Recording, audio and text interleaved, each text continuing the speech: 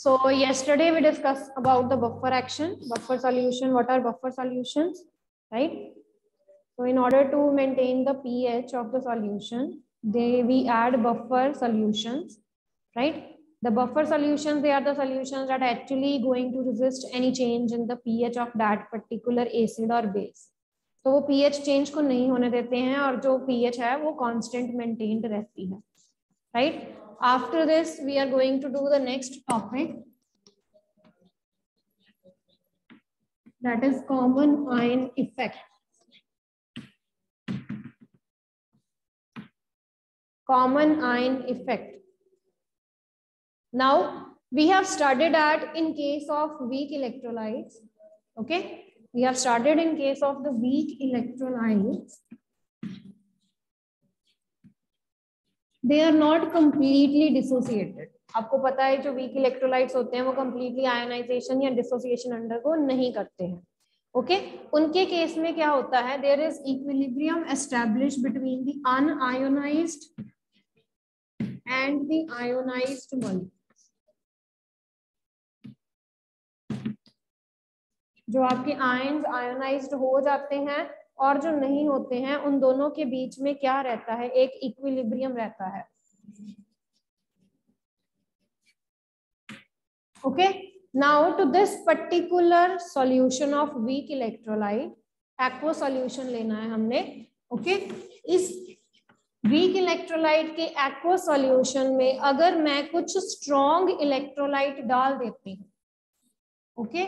In this, i am going to add a strong electrolyte a solution of strong electrolyte okay but there is one condition there is one condition that this strong electrolyte it should be having a common ion with the weak electrolyte यानी कि जो आपका electrolyte है strong और जो आपका weak electrolyte है उन दोनों में जो आयन होना चाहिए, वो कॉमन होना चाहिए। यानी कि आपने सॉल्ट ऐसा सेलेक्ट करना है कि उन दोनों में जो आयन आना चाहिए that should be common okay what I have said is if we are going to take the aqua solution of the weak electrolyte where the ionize and the unionize molecules are there that are actually in the equilibrium process तो अगर आप उस weak electrolyte के aqua solution में strong electrolyte डाल देते हो, जिनमें कॉमन आयन है वीक इलेक्ट्रोलाइट के जैसा ही okay so what will happen the suppression the dissociation the dissociation of weak electrolyte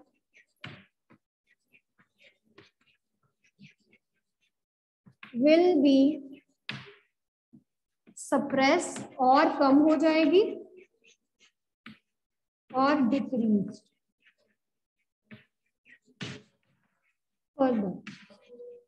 यानी कि जो आपकी वीक इलेक्ट्रोलाइट की डिसोसिएशन है, वो और ज़्यादा क्या हो जाएगी? कम हो जाएगी. Okay this is called as common ion effect when you are going to add that strong electrolyte, having the common ion in the aqua solution of the weak electrolyte तो जो आपकी वीक इलेक्ट्रोलाइट की dissociation है, जो ionization है, वो और कम हो जाएगी, और भी सप्रेस हो जाएगी। Okay let's say if we take the example of ammonium hydroxide यहाँ पर लिखती हूँ। You know, ammonium hydroxide is a weak base. If I am taking its aqua solution, it will be having the ions as ammonium ion and OH negative ion. ऐसे ही होगा ठीक है अब इसमें मैं कोई स्ट्रॉन्ग इलेक्ट्रोलाइट ऐड कर देती हूँ if I add any of the strong electrolyte let's say I'll be adding ammonium chloride. अब दोनों में आप देख सकते हो जो अमोनिया अमोनिया है that is common you can see in both of these okay ammonia ion is common इसकी जो डिसोसिएशन होगी वो कैसे होगी?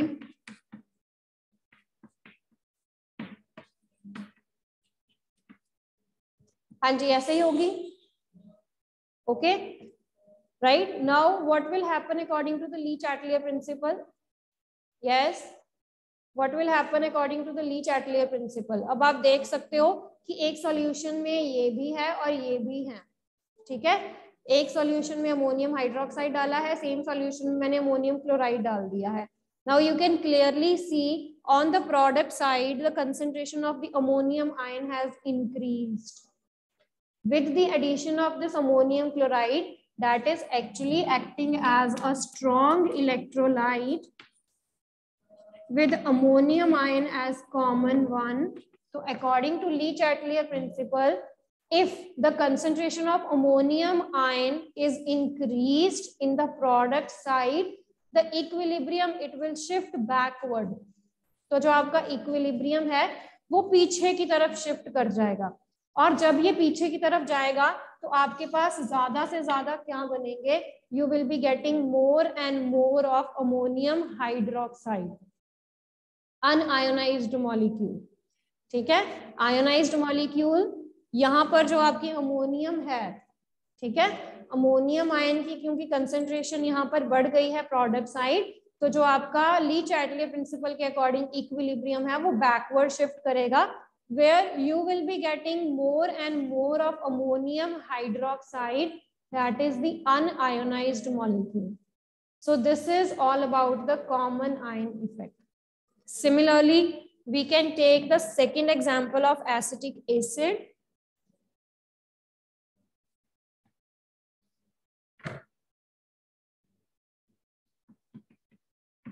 Again, if I'm taking the aqueous solution of acetic acid, that is actually a weak acid. ठीक है ये भी एक weak acid है completely ionized नहीं होता है so it will be giving you acetate ion and H positive ion. Now, if I'm going to add a common ion in this, okay, so let's take a strong electrolyte that is having the acetate ion in common. Okay, so this is having acetate ion in common. Since this is strong one, so ये एक ही तरफ जाएगी. Okay, strong electrolyte है, so this will be favored in one direction.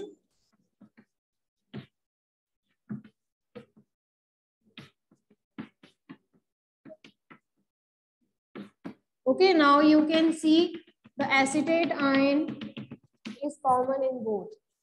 तो आप देख सकते हो कि रिएक्शन में ज़्यादा से ज़्यादा जो है वो एसिटेट आयन फॉर्म हो चुके हैं अब।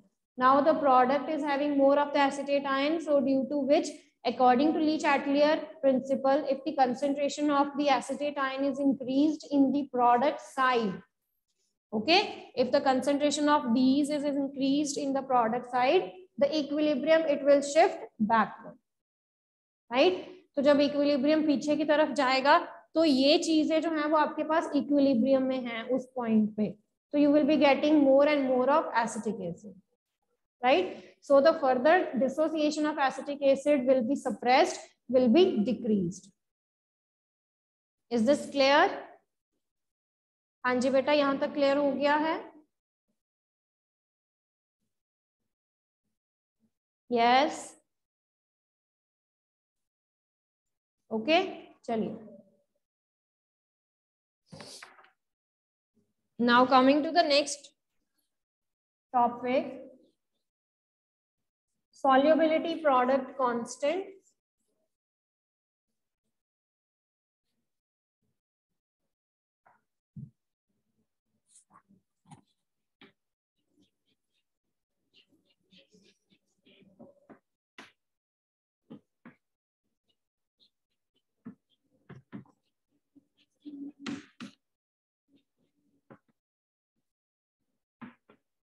Solubility product constant. So as the name of the topic suggests, we are going to discuss here about the solubility of some of the salts. ठीक है solubility product नाम से ही पता चल रहा है टॉपिक है कि हम यहाँ पर क्या डिस्कस करने लगे हैं solubilities डिस्कस करने लगे हैं okay now if we talk about the solubility some salts they are highly soluble in water जैसे NaCl है okay NaCl sodium chloride जो है वो easily dissolve कर जाता है While there are some of the salt that can't easily dissolve in water. Okay. For example, lead sulfate ho gaya. Okay. Silver chloride also, AgCl that is also having low solubility in water. You can also take the example of barium sulfate. So they all are having the weak solubility when they are dissolved in the water. Now again if the if they are weakly ionize ठीक है?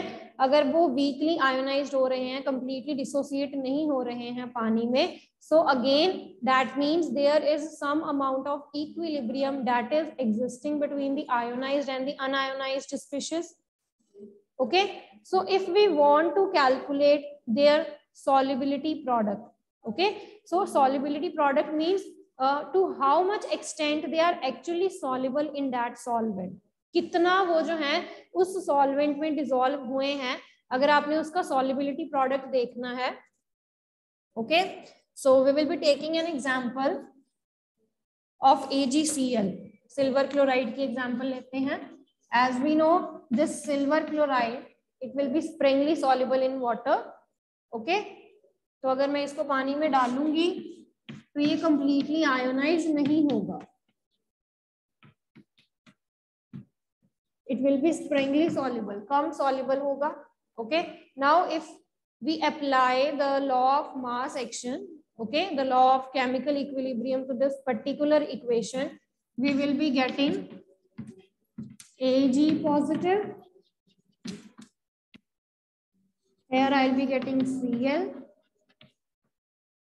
and divided by agcl in the solid state okay Again, if I talk about the solubility of silver chloride in the solid state, so that will be very, very less.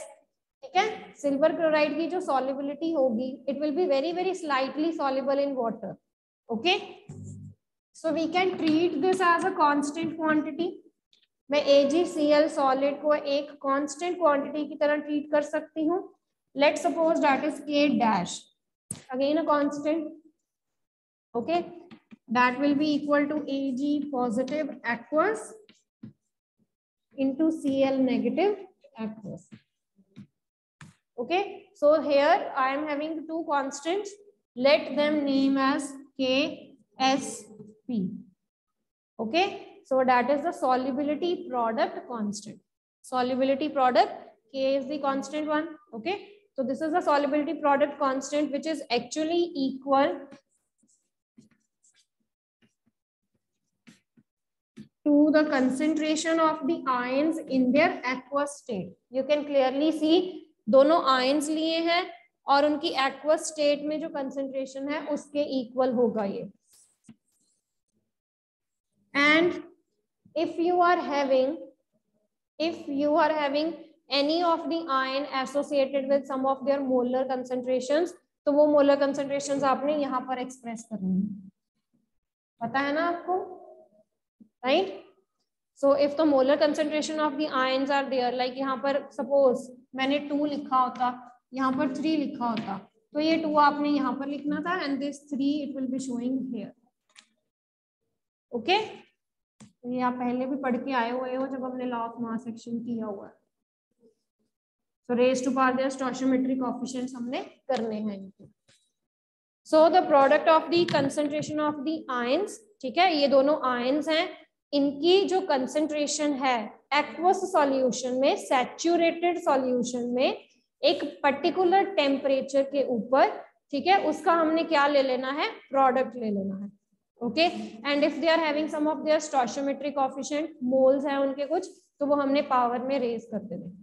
Okay so that actually symbolize the dissociation of the one mole of salt okay तो ये जो आपका है that is representing for the one mole of salt जहाँ पर मैंने क्या same रखा है? Temperature okay so at a particular temperature with one mole quantity of the salt we have to prepare its saturated solution okay जहाँ पर नीचे जो है वो अनडिसोसिएटेड रह जाता है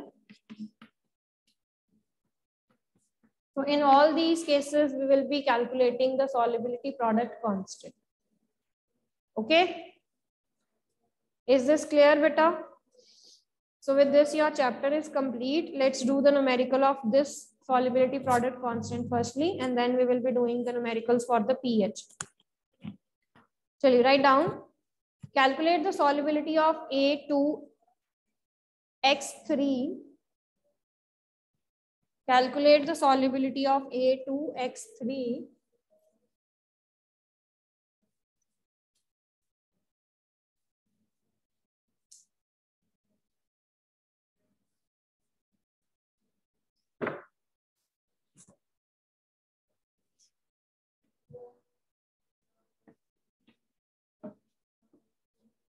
आपने सॉल्युबिलिटी जो है वो कैलकुलेट करनी है ए टू एक्स थ्री की प्योर वाटर में and you have to assume that neither kind of ion reacts with water right you are given with KSP of A2X3 as 1.1 into 10 is for minus 23.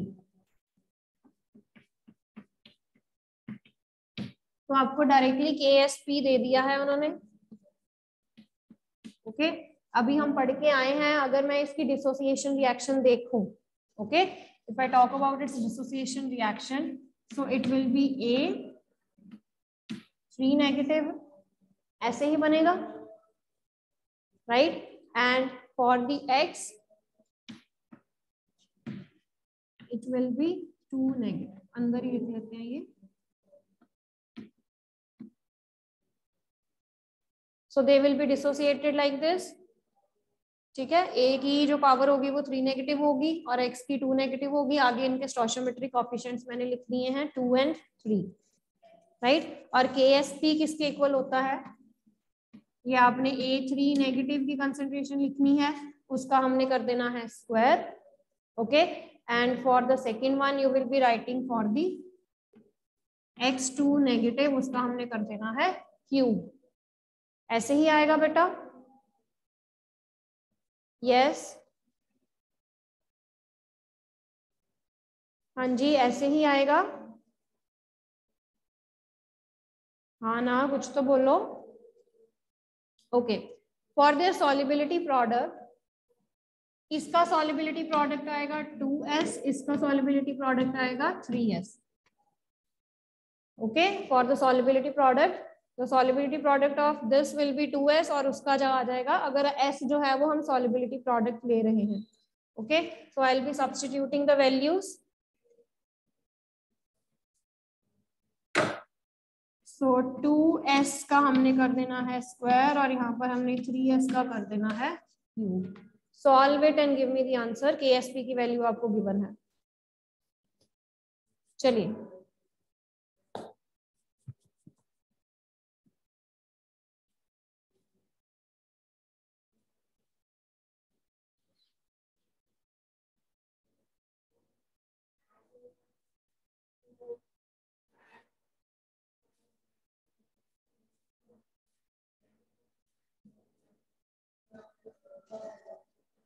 ए की solubility double होगी ना two molecules of a हैं। Okay तो it will be two S similarly here we are having three molecules of X तो three times solubility होगी उसकी so that's why three S right solubilities भी जो हैं, वो भी डबल हो जाएँगी। Okay okay?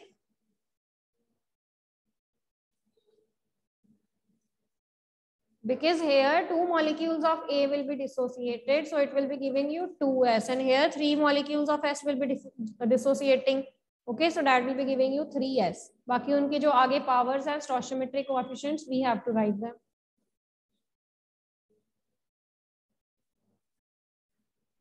Yes, S is the solubility. हाँ जी, S is solubility. दोनों की solubility ली है हमने जो हमें नहीं पता है so we are assuming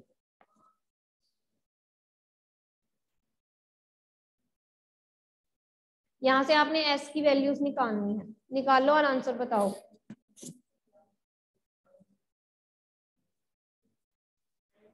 So we will be substituting all the values here 1.1 into 10 is to a minus 23 and this will be 4 3 3s are 9 9 3s are 27 into S5 okay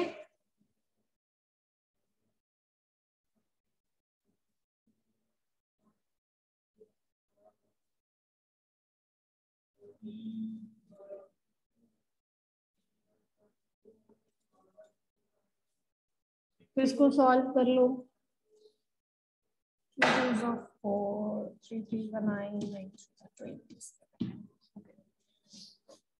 So that is going to give you 108 S5 is equal to 1.1 into 10 is for minus 23. जब आप इसको divide कर दोगे 108 के साथ So you will be left only with S5.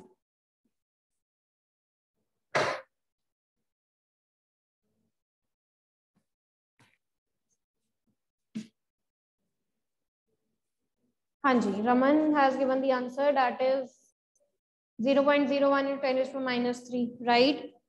Or either you can write down 10 is to minus 5 simply mole per liter. Okay so that is 10 is to minus 5 mole per liter.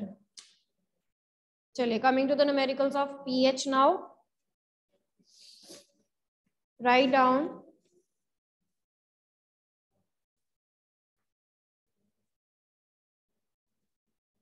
Write down the numerical for the pH. The concentration of hydrogen, the concentration of hydrogen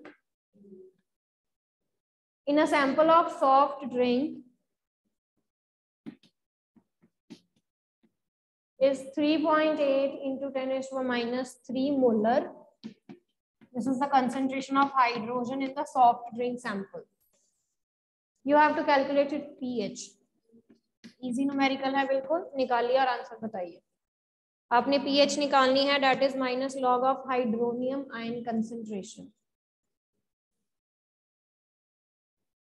minus log of H positive ion concentration तो इसमें value रखो three point eight into ten इशुआ minus three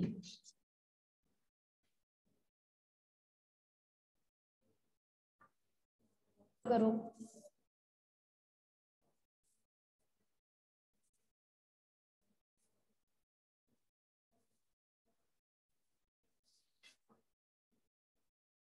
अब दो numbers यहाँ पर multiply में हैं। तो मैंने आपको उस दिन भी बताया था log of A into B it will be written as log A plus log B तो पहले आपने इन दोनों को एज सेपरेट करके लिखना है ओके उसके बाद यहाँ पर लॉग की और प्रॉपर्टी कौन सी यूज़ होगी? ये वाली, जो पावर वाली प्रॉपर्टी है। पावर आगे आ जानी है, और बाकी चीज़ हमने इट इज़ लिखनी okay so you will be left with minus log of three point eight minus log of ten is minus three यही बनेगा।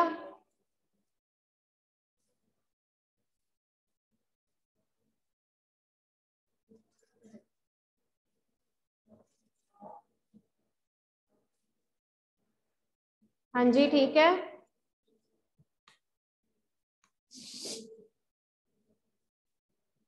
Right?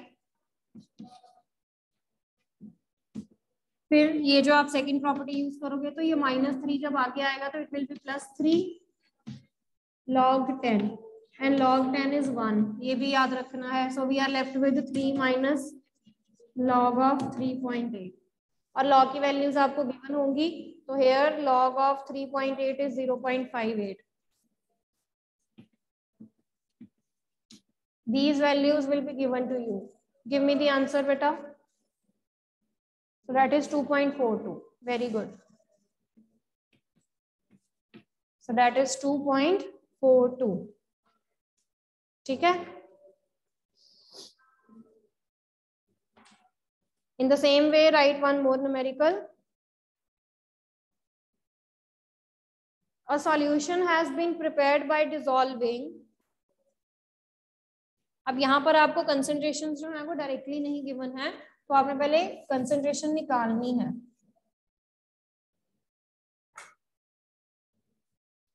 A solution has been prepared by dissolving 0.63 grams of nitric acid in 100 ml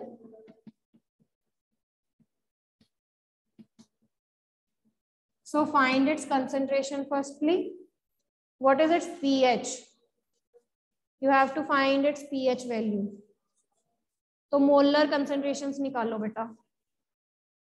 Find out the molar concentration of this molarity निकालो पहले इसकी। Number of moles of solute divided by volume of the solution taken in litres solve it number of moles में given mass divided by molar mass हो जाएगा। See, what is the molar mass of nitric acid? Hydrogen का one है। Carbon sorry nitrogen का चौदह। चलिए this is for your homework घर से करके लाना है इसको। नहीं होगा तो फिर हम कल डिस्कस करेंगे।